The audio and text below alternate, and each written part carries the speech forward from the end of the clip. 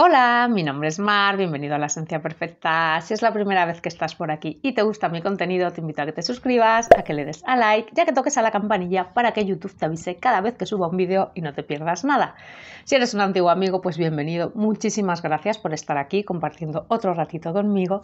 Y hoy, como habéis visto en la cajita de descripción, vengo a traeros otras cuantas inspiraciones de la casa Nirvana Parfums.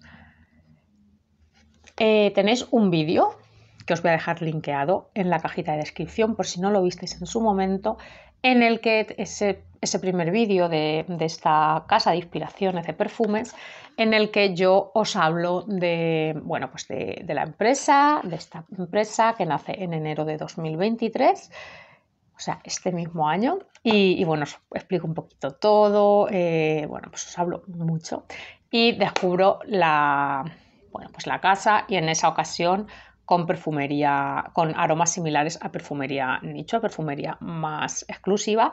En este caso, lo que os traigo y eh, bueno, pues pensando en que se acerca el Día de la Madre, yo he hecho una selección de aromas clásicos, de perfumes eh, como alguno atemporal, otro vintage y otro eh, descontinuado de pues perfumería más, pues más clásica, más clásica. Y bueno, voy a compartirlo con vosotros. La presentación, pues como veis, es espectacular. En el otro vídeo, en ese vídeo del que os hablo, al que os voy a dejar abajo por si lo queréis ver, os muestro todo cómo vienen los paquetes que os envían, todo, todo, todo con todo detalle. Así que voy a centrarme en los perfumitos que quiero presentaros hoy. Como veis, igual estuche estuche imantado, o bueno, imantado no, como sí, imantado de, de cartón duro. Y aquí están los tres perfumitos en 30 mililitros que yo he seleccionado. Bien, vamos a empezar con uno, mi favorito, que es un descontinuado, que es un perfume que yo usé en su momento y de hecho todavía conservo el frasquito con algo de líquido, bastante, le queda como un dedo al frasco de 100 mililitros porque bueno, fue un perfume que un día me pasé aplicándomelo, lo aborrecí y ahí se quedó. Pero es un perfume que me gusta mucho. Y es el que se inspira o equivale a Miss Dior Cherry de Dior. Es un perfume que ya no podemos encontrar en el mercado entonces, bueno, pues gracias a las casas de inspiración podemos seguir disfrutando pues, de esos aromas que si no hubiesen quedado en el olvido. Y este es un ejemplo de ellos. El 67 de Nirvana Parfums, me encantan estos packaging, me encantan, me gustan mucho cómo lucen, cómo quedan. Y luego también me parecen súper prácticos para viajar, para llevar en el bolso, para todo. ¿Qué tenemos aquí? Pues aquí tenemos un perfume que os vuelvo a decir, son, os lo decía ya en el, en, el vídeo en el que yo descubrí esta casa, que me parece que son perfumes muy cremosos, están, mm, están bastante, o sea, no sé, tienen un aroma muy rico. En este caso tenemos un perfume inspirado en un perfume que se lanza en 2005. Eh, eh, catalogado como familia chipre frutal para mujeres. Es un perfume eh, que lanzó la casa Dior, como ya digo, lo llama Miss Dior Cherry. Y tiene en la salida, en las notas de salida tiene cereza, tiene fresa, que se nota un montón y no se pierde desde el principio, al menos yo en mi piel ni lo perdí al original ni lo pierde este. Esa nota de fresa me acompaña desde que sale hasta que, hasta que seca, o sea, es una maravilla. Piña y mandarina, cereza, fresa, piña y mandarina, una salida súper frutal en la que ya os digo, lo que predomina es la nota de fresa. En el corazón tenemos palomitas de, maíz, caramelo, rosa, jazmín y violeta. Tenemos unas palomitas de maíz que da como un toque saladito, pero no es un toque salado como hemos encontrado en otros perfumes. Eh, yo creo que es lo que hace es regular mucho el caramelo con, eh, con ese punto de las palomitas. Lo hace un perfume muy especial lo hace un perfume muy equilibrado. ¿Por qué? Porque no es un perfume que sea o se sienta muy, muy dulce ni atosigante. Es de verdad una maravilla. En el fondo, bueno, pues ya aquí en el corazón tenemos la parte floral de la rosa, el jazmín, la violeta. Y en el fondo tenemos pachuli, almizcle y ámbar. Es un perfume delicioso. Seguro que muchas lo conocisteis y si no, de verdad, no os lo perdáis. Conocedlo porque para mí, yo siempre dije que este era el coco Mademoiselle que se había hecho para mí porque es más cremoso, es, eh, no tiene tanto, tanta carga de pachulio, no se le siente tanto, no es cítrico, sino que es como mucho más dulce, más cremoso por eso, porque es frutal. Eh, no tiene ninguna parte cítrica, son frutas, flores y luego esa parte de caramelo, de palomitas, no sé, lo hacía como muchísimo, muchísimo más fácil de llevar para mí, con ese carácter elegantón como el que se le puede percibir a, perfumes como Miss Dior, como Coco Mademoiselle y demás. Me gusta mucho y, bueno, pues yo estoy muy contenta y es una de las cosas que más me gusta de las casas de inspiración. Además de podernos acercar a perfumes que de otro modo no podríamos probar, no podríamos conocer o no podríamos tener por el elevado precio que tengan o tal, sobre todo el poder disfrutar de aromas que ya no se encuentran en el mercado y que te evocan pues, a muchas cosas, te traen muchos recuerdos porque han sido aromas que tú has, utilizado. Y este Miss Dior Cherry, que es el 067 de Nirvana, sería uno de ellos. Luego, eh, otro perfume que pedí, un clásico, clásico, clásico, es Coco de Chanel. El que se inspira en Coco de Chanel, que sería el 120. Mirad, que packaging otra vez y este es un perfumazo con aire más vintage. Ahora me cuesta abrirlo. Esto tiene una duración brutal, brutal, brutal. Esto a mí me dura todo el día. El de Miss Dior Cherry también me dura mucho, pero no sé si es que estoy más acostumbrada al aroma y no me atosiga tanto. Este eh, mm, llegó un momento que dije, esto ya me lo quiero quitar, yo ya no quiero oler a esto porque es fuerte, es intenso y tiene una duración bárbara, bárbara. ¿Qué tenemos aquí? Pues un montón de cosas, como en los, perfumes de, mm, de, aquella época. Este perfume, el, original en el que se inspira, Coco, eh, Coco no, perdón, Coco de Chanel, eh, es un perfume de 1984, que es el año que yo nací. Podéis echar cuentas de los años que tiene este perfume en el mercado. Y es un perfume que se sigue vendiendo porque es un perfume que es muy elegante, y que a pesar de tener ese aire un poquito retro, no lo hace vintage, no lo hace como que sea un perfume desfasado que no puedas utilizar. Es más, a las, si no sabéis o no recordáis a lo que huele porque habéis pasado de ese perfume, porque tal, a mí me da un poco la vibra del perfume de la Panther de Cartier, es decir, son perfumes que van por ese, por ese estilo. Entonces, si te gusta eh, y toleras bien la Panther, este perfume también podrías tolerarlo bien, porque son perfumes que andan por ahí, por este tipo de aromas. ¿Vale? No está desfasado, no está desactualizado. Tú te lo pones y vas a quedar muy bien con este aroma. Esto es elegancia, es feminidad, es poderío. Y ya os digo, una bomba. Con estos 30 mililitros yo voy a tener ya para toda mi vida. Vale, también se me hace una idea súper buena porque es un perfume que yo, por el uso que le vaya a dar, no compraría el perfume, el perfume original porque es muy caro y no es un perfume que yo pues vaya a usar así habitualmente o tal. Pues quizá algún día me dé por, por ponérmelo, pero no, porque por ejemplo ahora la Panther prácticamente no la estoy utilizando y es un perfume que tengo, ¿no? Entonces, bueno.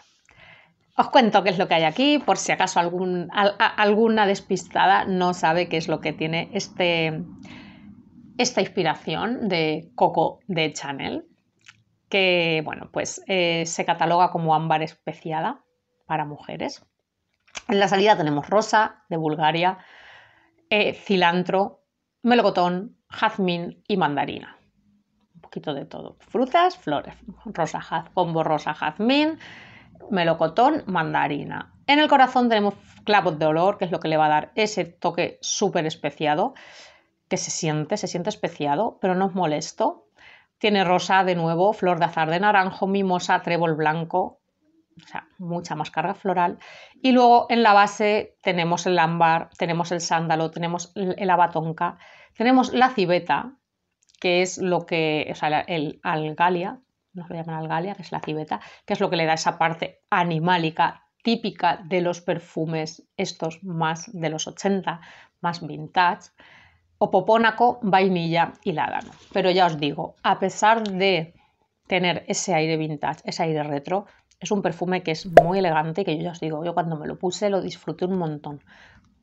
pero es tan fuerte y tan intenso que, que cuando ya pasaron unas horas me cansé mucho, o sea, me dio fatiga olfativa, me lo quería quitar y, y, me lo quería quitar y me lo quité, ya me duché y después de ducharme no me apetecía ni perfumarme, es decir, necesitaba que mi nariz descansara porque es una bomba. Ah, bueno, no sé, se me ocurre que es un regalazo para, bueno, pues si sabéis que gusta este aroma o vosotras mismas si queréis eh, probar una inspiración de coco de Chanel, eh, bueno, siempre habrá que salvar seguro las distancias con el original. Como siempre, siempre, nunca una inspiración es igual que un original, pero os digo que tiene muy buen rendimiento, que huele muy bien y que en mí al menos no hace cosas feas en la piel. Y por último, la última selección que hice fue otro perfume que yo tampoco compraré el original porque es un perfume que yo nunca he podido llevar, pero es un perfume que me gusta mucho como huele, que me gusta mucho olerlo en las personas que lo llevan, que son muchas. Y, mm, y que lo veo un perfume que es muy elegante y que es un perfume que es un clásico, que es un clásico que cualquier persona que tenga muchos perfumes, que coleccione perfumes o que coleccione aromas, que sea coleccionista de aromas, que le guste olerlo todo, tiene que tener por lo menos una muestrecita, un tal, porque es, eso, es un perfume al que, em, que ha marcado una época también. Y no es otro que el hijito de Coco de Chanel, que es Coco Mademoiselle de Chanel. Ya os digo, es un perfume que nunca he usado y creo que nunca usaré, pero yo lo quería tener. No me voy a comprar 100 euros de perfume para tenerlo. Pero este frasquito tan precioso, con el aroma dentro, pues me parece ideal. Huele muy bien y muy fino. Es decir, cuando lo he probado he dicho, este sí lo podría llevar. No, no todos los días, porque a mí este pachuli me cansa mucho pero yo había probado otras inspiraciones y no, no, no, no, no, no, no, no, no. En cambio, se me hace muy sutil y muy finita. Este tiene menos rendimiento, mucho menos, que el de coco, ¿vale? Pero eh, se siente fino, se siente muy, muy chuli. Y, bueno, pues para, la, para, para esta, bueno, estos que son perfumes que son como muy todoterreno, ¿no? Para quien lo lleva es su perfume firma y se lo pone en cualquier estación, eh, cuidando las atomizaciones dependiendo de la, estación en la que esté. Pero bueno, se puede utilizar perfectamente todo el año. Al final este perfume pues es un cítrico eh, floral amaderado con pachuli que bueno pues que puede quedar un poco bien es un perfume que gusta mucho ya os digo a mí me gusta mucho percibirlo y sentirlo pero a mí estos pachulis me cuestan, me cuestan. Eh, pero este me ha gustado porque mm, no lo veo nada, no lo veo excesivamente invasivo. Excesivamente invasivo. Para el invasivo ya tenemos a Coco. Bien, ¿qué tenemos en Coco Mademoiselle de Chanel? Pues seguramente todas lo conozcáis, todas lo hayáis usado en alguna ocasión. Yo seré la única que nunca me he puesto Coco Mademoiselle de Chanel. Pues aquí tenemos eh, un perfume que se inspira en Coco Mademoiselle de Chanel, del que se lanza en 2001 y que tiene, bueno, catalogado como ámbar floral para mujeres. Que tenemos aquí una salida cítrica con naranja, mandarina, bergamota y flor de azar de naranjo. Un corazón con rosa turca, jazmín, ylan ylan y mimosa. O sea, tenemos eh, la rosa y el jazmín junto a las flores amarillas. También teníamos flor de azar de naranjo en la salida, o sea, es un compendio de muchas flores. Y en el fondo tenemos pachuli, tenemos almizcle blanco, vainilla, vetivera, batonca y opopónaco.